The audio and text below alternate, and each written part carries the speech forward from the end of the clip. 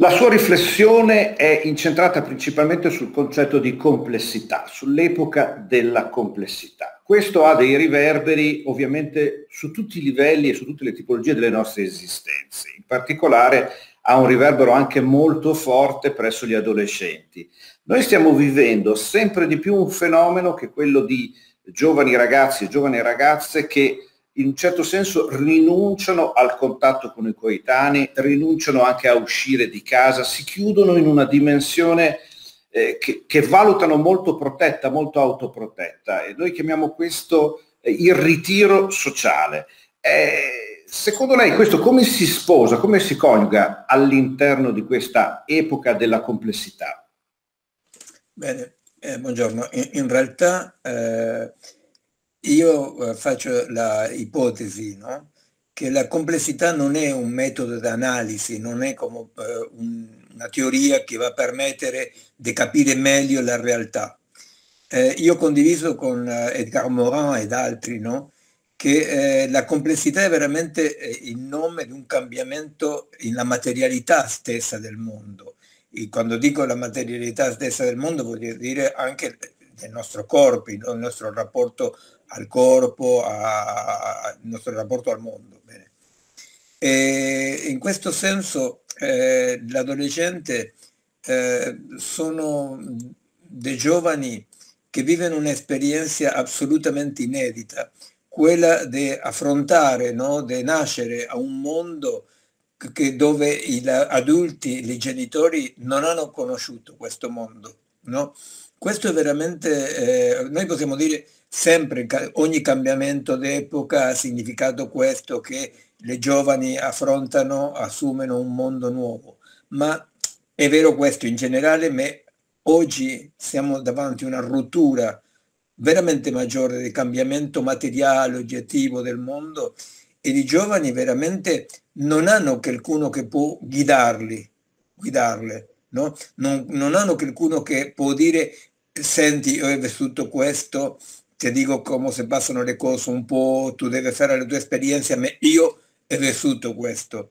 In realtà noi, gli anziani, gli adulti, non abbiamo vissuto questo. Io non parlo della pandemia, parlo dell'arrivo di un mondo di complessità, un cambiamento radicale del mondo. E, e, in verità questo, uh, questa realtà vi convocano a noi stessi, adulti, no? per cercare per dire come noi possiamo accompagnare e proteggere i nostri giovani in questo mondo che per noi, anche noi siamo giovani in questo senso, di non conoscere. No? Dunque, siamo smarriti anche noi in questa complessità.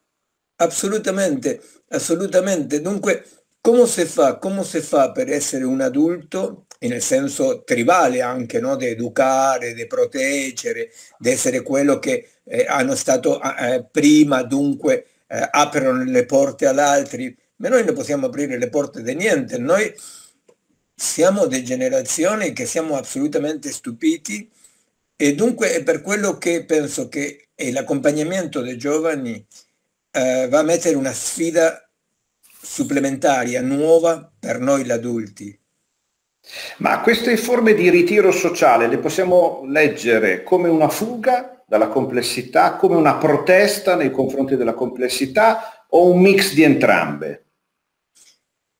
Sì, penso che deve essere un mix di entrambi, no? Eh, in ogni caso, ma è, è, un, è, un, modo di proteggersi, che è un modo di proteggersi eh, che non conduce a niente, no? che conduce a un puro fallimento eh, perché eh, c'è da rifutare questo mondo.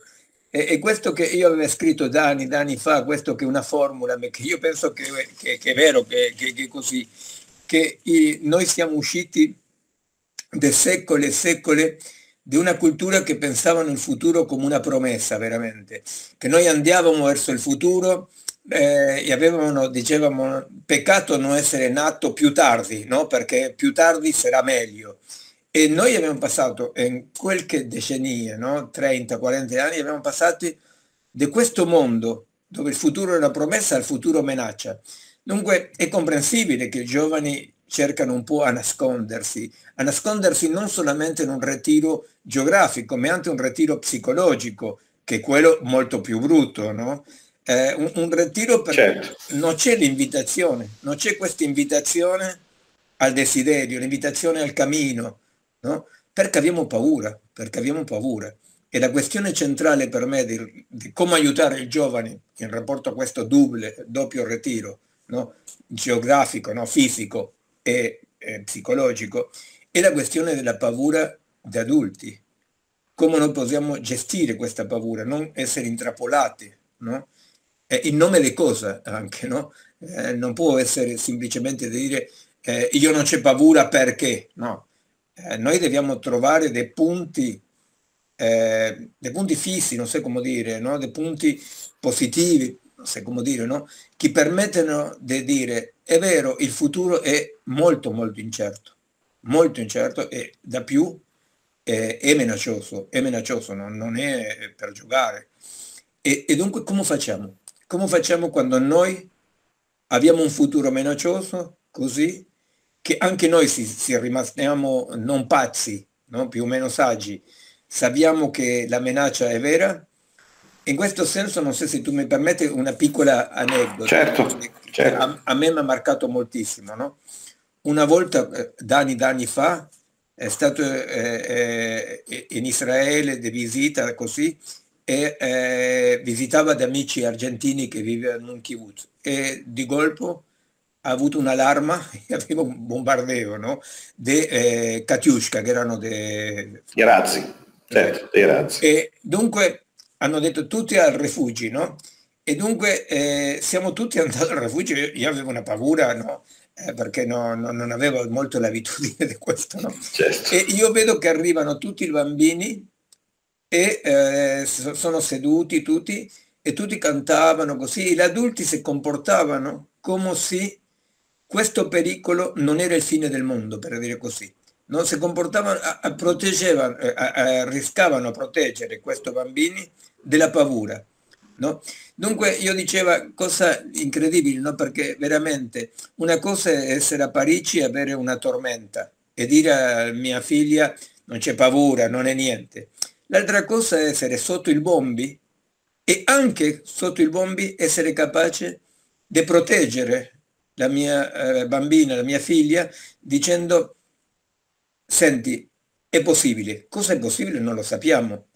No, non so se è chiaro, no? E, certo, non, è. non è necessario di rifutare la minaccia per proteggere. La questione è veramente come noi possiamo proteggere i giovani. Non, non, non è possibile abbordare, dal mio punto di vista, la questione del ritiro dei giovani senza vedere prima la nostra attitudine, come noi possiamo proteggerli malgrado la minaccia, senza ignorare la minaccia. No? Anche il nostro sistema educativo si è strutturato eh, sotto quelli che possiamo definire un po' i paradigmi della complessità. Quindi tendendo a formare i giovani e a dare in generale un'educazione, una formazione molto strutturata sulle competenze, sulla funzionalità delle, eh, dei saperi.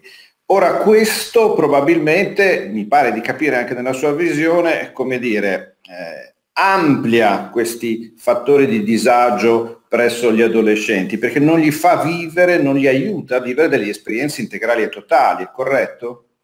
Sì, io condivido il tuo punto di vista perché eh, questa eh, pedagogia di competenze, no?